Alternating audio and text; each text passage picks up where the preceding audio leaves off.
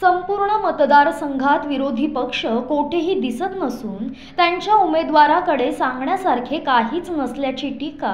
मावळचे खासदार आणि महायुतीचे अधिकृत उमेदवार श्रीरंग बारणे यांनी कर्जतमध्ये समन्वय समिती बैठकीवेळी केले. तसेच मावळ लोकसभा निवडणूक प्रमुख आमदार प्रशांत ठाकूर यांनी बारणे यांना सर्वाधिक मताधिक्य मिळवून देण्यासाठी मतदारसंघातील सहाही आमदारांमध्ये मध्ये स्पर्धा लागली आहे. त्यामुळे बारणे यांना विक्रमी मताधिक्य मिळेल यात शंकाच नाही असा विश्वास व्यक्त केला. मावळ लोकसभा मतदारसंघातील Shiv Sena BJP Rashtrawadi MNS R P I Rasap आणि मित्रपक्ष महायुतीचे उमेदवार खासदार श्रीरंग बारणे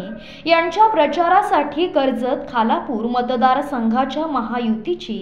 समन्वय समिती बैठक कर्जतमधील साई कृपा शेळके सभागृह सभागृहात आयोजित करण्यात आली होती. यावेळी महायुतीचे उमेदवार श्रीरंग बारणे भाजपचे क्लस्टर प्रमुख बाळासाहेब पाटील आमदार प्रशांत ठाकूर आमदार महेंद्र थोरवे माजी आमदार सुरेश लाड सुधाकर घारे भाजपचे जिल्हाध्यक्ष अविनाश कोळी शिवसेना जिल्हा प्रमुख संतोष भोईर मनसेचे जिल्हाध्यक्ष जितेंद्र पाटील राष्ट्रवादी काँग्रेसचे प्रदेश सरचिटणीस अशोक भूपतराव प्रदेश सहचिटणीस भरत भगत राष्ट्रवादी काँग्रेसचे जिल्हाध्यक्ष हनुमान पिंगळे रिपब्लिकन पक्ष आठवले गटाचे जिल्हाध्यक्ष नरेंद्र गायकवाड कर्जत विधानसभा निवडणूक प्रमुख किरण ठाकरे जिल्हा सरचिटणीस दीपक बेहेरे नरेश पाटील कर्जत तालुका अध्यक्ष राजेश भगत खालापूर तालुका अध्यक्ष प्रवीण मोरे विजय पाटील भाई गायकर शिवराम बदे पंकज पाटील संभाजी जगताप संदेश पाटील राहुल डाळिंबकर प्रमोद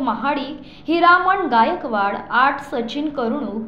विजय सावंत महेंद्र निगुडकर जे पी पाटील भगवान भोईर भगवान चंचे संतोष बैलेमारे यांच्यासह महायुती आणि मित्रपक्षांचे पदाधिकारी आणि प्रमुख कार्यकर्ते मोठ्या संख्येने उपस्थित होते. यावेळी आमदार महेंद्र थोरवे यांनी खासदार श्रीरंग बारणे यांनी गेल्या दहा वर्षात मावळ लोकसभा मतदारसंघाच्या कानाकोपऱ्यात काम केलेले असताना त्यांनी कामच केले नाही अशी टीका कर करणाऱ्या विरोधकांना हा मतदारसंघच माहीत नाही असे म्हणावे लागेल असे स्पष्ट प्रतिपादन केले. तर हिंदवी स्वराज्याची राजधानी असलेल्या रायगडावर येऊन तेथील पवित्र माती डोक्याला लावणाऱ्या पंतप्रधान मोदी यांचे हात बळकट करण्यासाठी मावळ मतदारसंघातला मावळा दिल्लीला गेलाच पाहिजे असे प्रतिपादन बाळासाहेब पाटील यांनी केले.